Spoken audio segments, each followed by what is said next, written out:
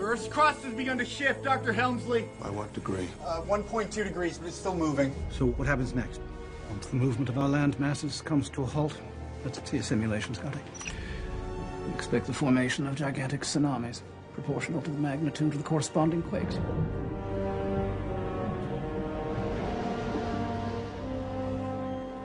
Pull up the Japanese seaboard, will you? Yes, sir. Sir, we recorded two underwater quakes at 7.9 and 8.2.